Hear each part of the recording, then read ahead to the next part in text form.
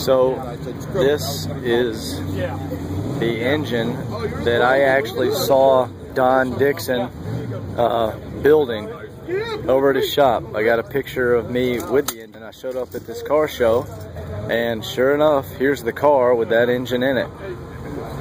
Uh, it's 588 Dodge, uh, 900 horsepower, something like that. Definitely too much for this car to do anything with it. With street tires at least. But I bet you if you put some slicks on here, that'd be the fastest car in town right there.